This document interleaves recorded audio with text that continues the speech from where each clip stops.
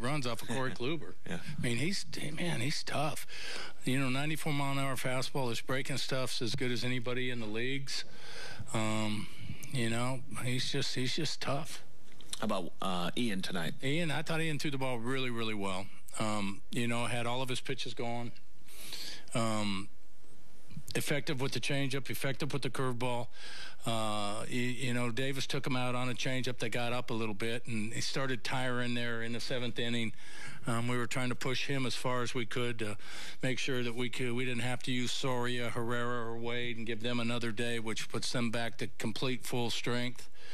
Um, and um, you know, he came in and uh, just did an awesome job. Hoch came in and um, you know, got us out of the got us out of the seventh and pitched a great eighth. And Chien-Ming Wang was fantastic in the ninth. All games are big, all series are big, but after dropping six of seven in Cleveland, what what statement? How big was this? Nah, it just you know, there's no real statement. Uh, this is going to be a tough division. Um, you know, um, we took advantage of an opportunity. You know, the only way that you really pick up games is a sweep and um, you know the sweep benefited us. You know now we're tied for first place again, and we just go back at it again tomorrow.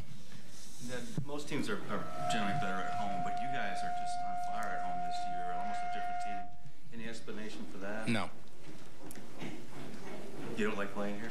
No, I don't have an explanation for it. We played great here. I told you. I mean, we've talked about this a million times. We, uh, we love playing in this stadium.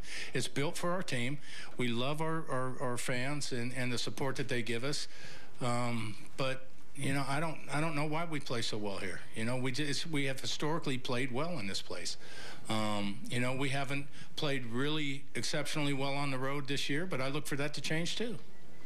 Because we're a good team with with Kluber, he's a guy you got to really stay after, right? I mean, in the fifth, 82, and you, you get a bloop hit here, a hit and run there, and just kind of just nibble and nibble. Yeah, and I don't know. I, I mean, how you stay after him. He's tough. He gets ahead of you. He's going to get you out.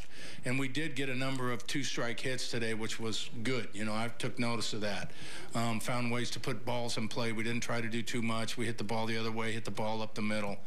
Um, but he's just a fantastic pitcher it seems like you guys are, are, suited for this park because of the pitching and the defense, but it seems like the offense seems to hit better here sometimes as well. Is that? Is I think that's a coincidence right now, especially this year. Uh, I mean, I think we're a good hitting team, and it just seems like uh, the times that we our bats have gone quiet, it's been on the road. Um, the, the fans provide energy here for us that, that we definitely feed off of.